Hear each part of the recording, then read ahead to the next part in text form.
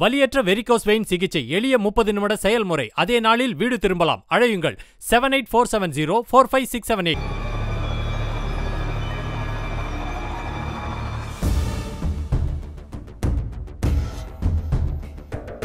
இரண்டு மகள்கள் காதல் திருமணம் செய்து கொண்டதால் ஆத்திரத்தில் மதுபோதையில் மனைவியை கட்டையால் அடித்து கொலை செய்த கணவர் கைது செய்யப்பட்டுள்ளார்.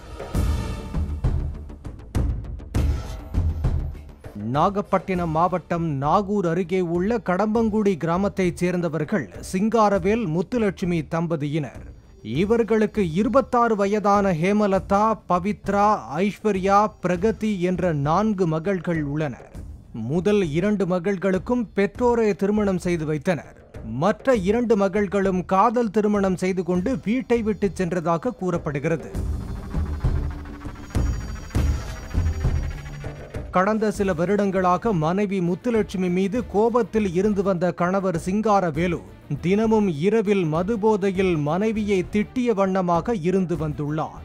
இந்த நிலையில் வழக்கம் போல நேற்று இரவும் மதுபோதையில் வந்த சிங்காரவேலு மனைவி முத்துலட்சுமியிடம் தகராறில் ஈடுபட்டுள்ளார். இதனால் வாக்குவாதத்தில் ஈடுபட்ட மனைவி முத்துலட்சுமியை எனது மகள்கள் ஓடிப்போக நீதான் காரணம் என கூறி தலையில் கட்டையால் அடித்தே சிங்காரவேலு கொலை செய்துள்ளார்.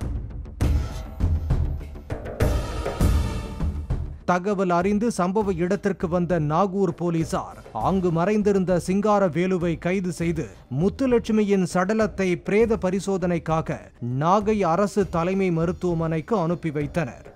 நாகை அருகே மகள்களின் காதல் திருமணத்திற்கு காரணமான மனைவியை கட்டையால் அடித்து கணவரே கொன்ற சம்பவம் அப்பகுதியில் சோகத்தை ஏற்படுத்தியுள்ளது.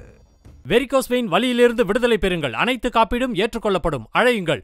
Seven eight four seven zero four five six seven eight